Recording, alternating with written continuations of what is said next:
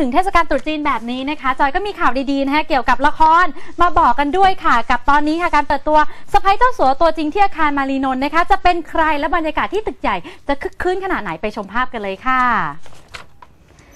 เฮงแน่ๆเลยค่ะ เพราะว่าเป็นละครที่มาเริ่มทำงานในช่วงตรุษจีนพอดีเดะค่ะ แถมชื่อเรื่องก็ยังชื่อสไปเจ้าสัวซะอีกนะคะ งานนี้พี่ปิ่นแห่งทีวีซินก็ไม่ต้องเหนื่อยกับการเตรียมตัว ให้เจ้าสัวอาต้อยเศรษฐาที่ห่วงลูกชายทั้ง 4 เหมือนงูจงอางเท่าไหร่นะคะ เพราะอาต้อยแล้วก็ภรรยาในเรื่องอย่างพี่จิ๊กนวรัตน์ก็ดูเป็นเศรษฐีระดับไฮคูนอยู่แล้วนะคะ แต่ที่หนักหน่อยก็เป็นลูกชายจอมทะเลนอย่างพระเอกตุ้ยเกียรติกมลเนี่ยนะคะ ต้องปรับโฉมครั้งใหญ่ค่ะ จากเคยบ้านนอกคอกนามาเป็นนายตำรวจ ลูกชายเจ้าสัวรวยไม่รู้เรื่องอ่าที่ต้องหนีออกจากบ้านนะคะเพื่อหลบการคลุมถุงชน จนมาได้เจอนางเอกเบนซ์พรชิตาแบบปุเพสันนิวาสแบบนี้ละค่ะ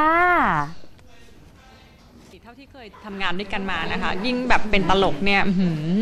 สิบเทคของแกคงไม่เหมือนกันสักเทคอะไรเงี้ยดีแล้วคนชอบดีฮะที่ตัวเองเป็นอย่างนี้ ใช่ฮะ ตลกก็คงจะพากันตลกทั้งทั้งกองครับรอบนี้นี่ครับมาแล้วครับผู้สามีภรรยาสุดฮาเพราะ วันนี้เป็นวันแรกนะครับที่ได้อ่าพบกับทีมงานแล้วก็อ่านักแสดงที่แสดงคู่กันครับสไปเจ้าสัวนี่ก็เป็นสไปเจ้าสัวเป็นเรื่องราวค่ะที่มาเกิดขึ้นในครอบครัวของเจ้าสัวถูกใช่ไหมต้องครับมีสะใภ้เจ้ากับเมียแล้วก็ด้วยเป็นเจ้าสัวแล้วก็มีสะพ้ายเข้ามาอืมใช่ลูกมีลูกกี่คนเนี่ยฮะเจ๊กหนอชาสี่สี่คนสี่คนนะค่ะมีลูกสี่คนสี่แล้วก็อ่าเป็นเป็นครอบครัวที่อบอุ่นอบอุ่นแล้วก็มากค่ะรักลูกๆทุกคนรักทุกคน โดยเฉพาะลูกคนสุดท้องโอ้โห